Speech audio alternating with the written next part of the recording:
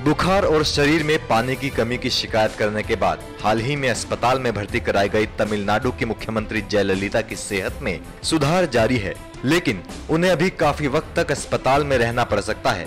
इस बीच एम्स के डॉक्टरों की एक टीम ने भी अन्ना द्रमुक प्रमुख की सेहत की जाँच की एक प्रेस विज्ञप्ति में बताया गया कि एम्स के पल्मोनोलॉजी मेडिसिन विभाग के doctor G Khilnani, anaesthesiological and critical care विभाग के प्रोफेसर डॉक्टर अंजन त्रिका और कार्डियोलॉजी विभाग के प्रोफेसर नीतीश नायक की टीम ने जयललिता के इलाज से जुड़े पहलुओं पर अपोलो अस्पताल की विशेषज्ञ टीम के साथ विस्तृत चर्चा की थी, जिसके बाद प्रेस कॉन्फ्रेंस कर जानकारी दी गई.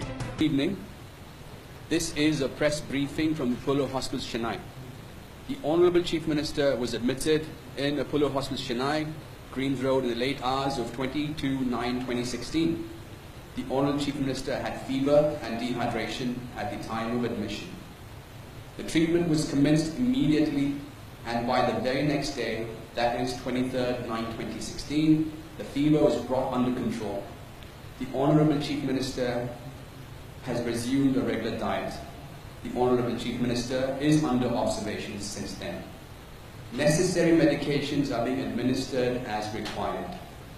As per standard medical protocols, necessary investigations and tests are being done to prevent the reoccurrence of fever.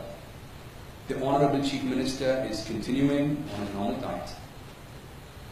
There have been rumors and conjectures circulated falsely in the social media about the Honourable Madam's health condition, stating that she will be taken abroad for treatment. These are totally false and baseless. There is no question of taking the Honourable Chief Minister abroad for treatment as there is no necessity at all for this. The Honourable Chief Minister is responding well to the treatment and continues to get better.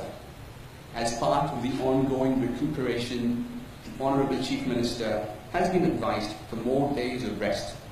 The Honourable Chief Minister will be discharged from the hospital in a few days and will soon resume her normal office duties. Jayalalithaa की सेहत में सुधार जारी है और स्वास्थ्य की स्थिति में धीरे धीरे प्रगति हो रही है उन्हें अस्पताल में काफ़ी लंबे वक्त तक रहना पड़ सकता है और विपक्ष भी लगातार इस मुद्दे पर सवाल उठा रहा है। ऐसे में ये साफ़ तो हो गया है कि जयललिता की सेहत फ़िलहाल क्रिटिकल नहीं है।